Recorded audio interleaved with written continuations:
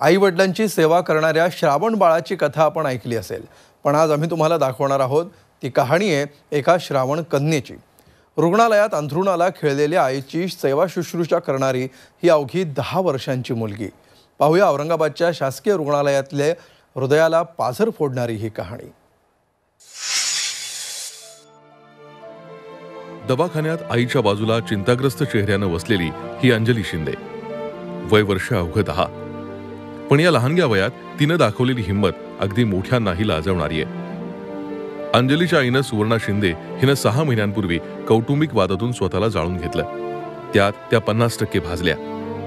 औरंगाबादच्या शासकीय रुग्णालयात त्यांना दाखल करण्यात आलं. सुरुवातीला काही दिवस नातेवाईक यायचे पण मग त्यांनीही पाठ फिरवली. त्यामुळे आपल्या आईला सांभाळण्याची जबाबदारी कोवळ्या अंजलीवर आली. केवळ आईच नाही तर दोघा लहान भावंडांचीही ती माऊली बनली.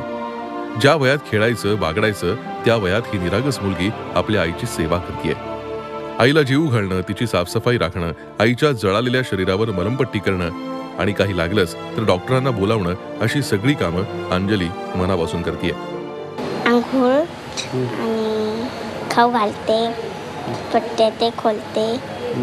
आणि शाळेत नाही जात. कोण? नाही आम्ही.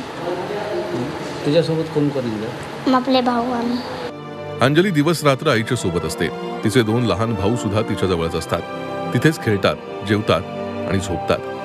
आपापल्या परीनं आईची सेवा करतात. या मुलांची आईसाठीची धडपड पाहून रुग्णालयातील कर्मचाऱ्यांनाही गहीवरून येतं.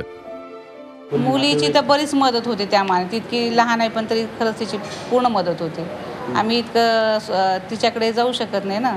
बाकीच्या पेशंटच्यामुळे आम्ही इतकं जास्त प्रॉपर लक्ष देऊ शकत नाही. मग ती मुलगी जे प्रॉब्लेम असेल ते सांगते. आम्ही तो सोडवायचा प्रयत्न करतो. खरं तर उपचार झाले की रुग्णाला घरी पाठवलं जातं.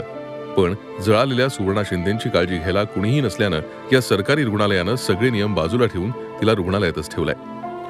घाटीत समाजसेवी काम करणारा के के ग्रुप सुवर्णा शिंदेना मोफत औषधं पुरवतोय. पाच फेब्रुवारीपासून ती आजपर्यंत आमच्या वॉर्डमध्ये ॲडमिट आहे. ॲडमिट असताना आमचं कसं आहे की आमचं रुग्णालय हे शक्यतो जे गोरगरीब रुग्ण आहेत किंवा जे बेघर आहेत बेआधार आहेत अशा रुग्णांच्यासाठी फार तळमळीनं काम करतं याच माणूसच्या दृष्टिकोनातून आम्ही त्याच्यावर ट्रीटमेंट केली. आतापर्यंत आम्ही हजारो रुग्णांना जे काही बेघर आहेत बेवारस आहेत अशा रुग्णांना आम्ही त्यांना दुरुस्त करून काही स्वयंसेवी संस्थेच्या मार्फत त्यांचं आम्ही रिहॅबिलिटेशन केलेलं आहे. गेल्या सहा महिन्यांपासून अंजली आणि तिची भावंड शाळेत गेलेली नाहीत. नातेवाईकांनी पाठ फिरवल्यानं या तिघांचं आयुष्य एका वेगळ्याच वळणावर आलंय. त्यांची धडपड आहे ती आपल्या आईला वाचवण्याची. एवढ्याशा वयात आईची सेवा करणाऱ्या या श्रावण कन्येच्या धडपडीला झी चोवीस तासचा सलाम. विशाल करोळे झी मीडिया औरंगाबाद. झी चोवीस तास. रहा एक पाऊल पुढे.